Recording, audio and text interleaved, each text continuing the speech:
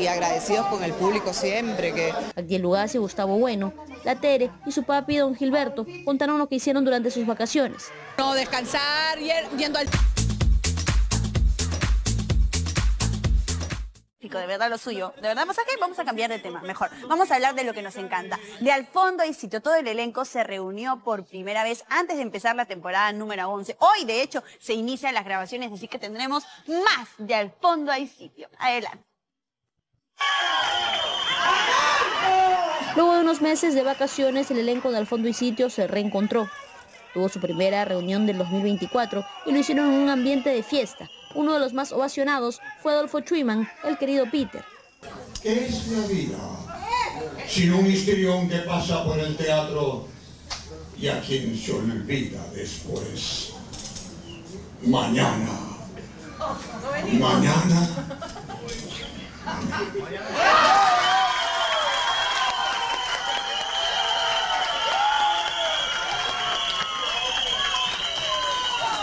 Y Yoranda, director y guionista del Fondo y Sitio, le dio la bienvenida a todo el equipo. Gracias por estar aquí, metan las ganas. A ver qué nos sale, a ver qué nos sale este año, espero que esté baja. Javi va a seguir en bolo, ¿no? Sí, sí, Javi sigue en bolo. Creo que no tengo nada más importante que decir. Muchachos, bienvenidos, muchas gracias.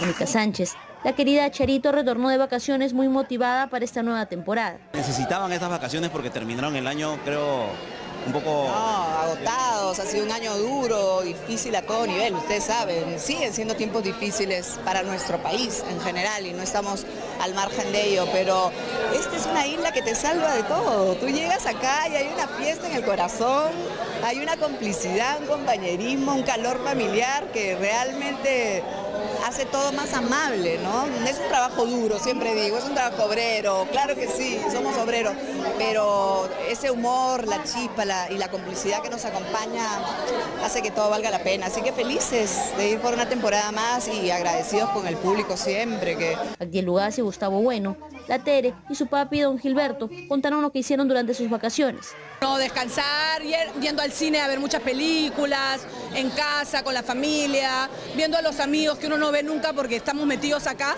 pero básicamente descansando, ¿no? Yo no, este año decidí no viajar porque de verdad sí quería estar conmigo un rato. Yo sí, yo sí viajé. Sí, ¿A dónde fuiste? A Italia. Ah, ¿verdad? Se fue casi un mes a Italia, se fue al Festival de Cine. Al Festival de Cine de Roma me invitaron, así que tuve 15 días, 16 días ya recorriendo otros lugares, ¿no? Jorge Guerra, el popular Jimmy, ya quiere saber qué pasará luego del último capítulo. Eh, nos hemos en suspenso, pues, ¿no? Entonces vamos a ver cómo arranca la, situación, pero de todas maneras es, está complicada la cosa. Sí, pues porque acabamos en un charco de, de sangre. Fue una locura, ¿no? Yo no me esperaba eso, ¿no? Y vamos a ver pues si, si, se recupera, vamos a ver cómo está Jimmy, yo no tengo la menor idea, no me han dicho nada, pero de todas maneras va a ser muy emocionante. Guadalupe Farfán, la inocente Yuli, espera que su personaje sufra menos y Benjamín se aleje de ella. Pero a mí me gustaría que Yuli termine sus estudios, que siga adelante ¿no? en sus prácticas de enfermería y, y nada, si es que se puede, que tenga una muy bonita relación con Cristóbal, que ya la muchacha ha sufrido demasiado. Por ahí hay un, hay un enfermito que la sigue todavía, que Terminó, la, terminó así la temporada. no, Dios mío, por favor, que alguien haga algo con ese enfermito, con Benjamín, pero que a mi, que, a mi Yuli la dejen tranquila, en paz, por favor. Adolfo Chuiman, en tanto, ya viene pensando en su retiro, aunque no tiene fecha definida. No, no, no, ya, ya es hora también ya de que... Porque esto, ¿qué te digo? Te da mucha responsabilidad. Mucha responsabilidad y y una de las responsabilidades es que no puedes este, hacer tu vida tranquilo.